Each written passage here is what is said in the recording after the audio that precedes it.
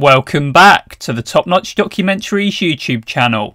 The FBI has been successful in finding fugitives over the years. Many are captured in the United States or abroad, and most are apprehended based on public tips and information.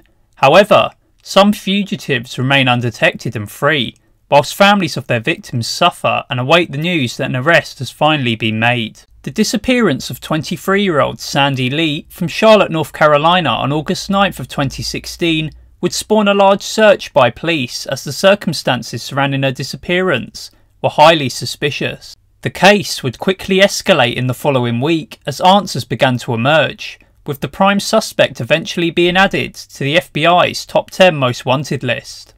This is the story of Alejandro Rosales Castillo. I hope you enjoy. Sandy Le had left her home on August 9th of 2016 and hadn't returned home or attempted to make contact with her family.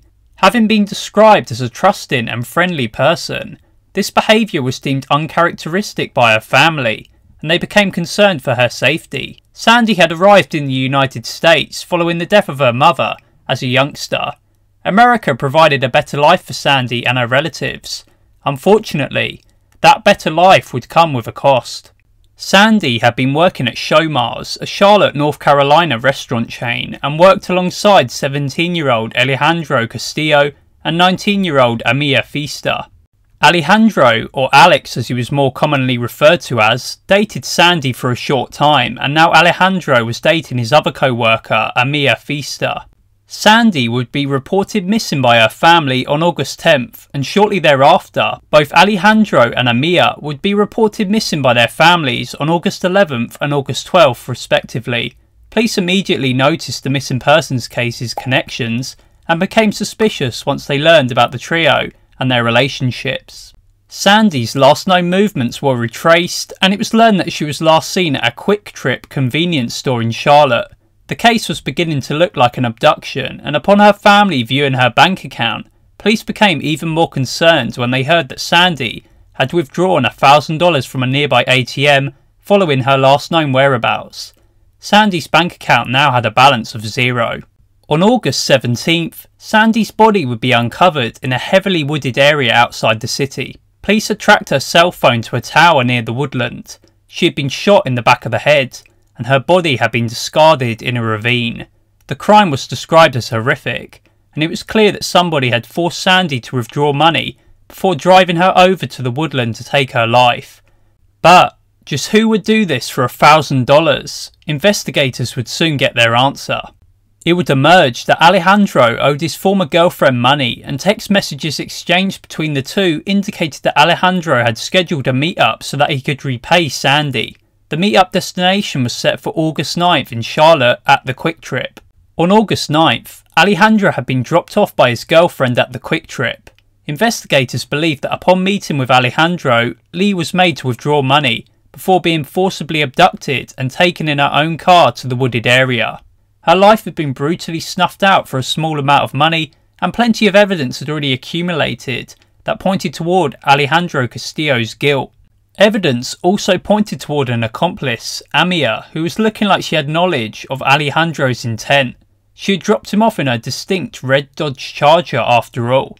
Investigators learned more about Alejandro, and he was born and raised in Charlotte and has family all over. They also realised that he didn't have a criminal history.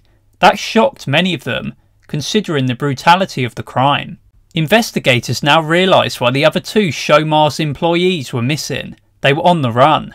A manhunt began as a new development in the case arrived that would move the case forward. Sandy's vehicle had been found abandoned on August 15th, not in Charlotte, North Carolina, but in Phoenix, Arizona. Amia's red Dodge Charger had also been located, left in Charlotte. Police figured that Alejandro and Amia had taken Sandy's car and drove over 2,000 miles before dumping it at a bus shelter. Alejandro had family in Phoenix. The pair then moved south, being seen on video crossing the US-Mexico border at Nogales on August 16th just after 9pm. Two months passed, and Alejandro's girlfriend must have been sick of life in Mexico or fed up that Alejandro expectedly ditched her because she ended up turning herself in to Mexican authorities and was subsequently extradited back to North Carolina to face accessory charges. She began cooperating with investigators and said that they'd both stayed with his cousins in Aguascalientes, Mexico, for two months before Alejandro suddenly went missing. Alejandro is fluent in Spanish, and so he could realistically be anywhere in Mexico, blending into society. His family ties have evidently aided in his time spent on the run, and he's considered armed and dangerous. His girlfriend, now in custody, ended up paying her hefty bonds for larceny of a motor vehicle and accessory after the fact, and was freed from the county jail in early 2017.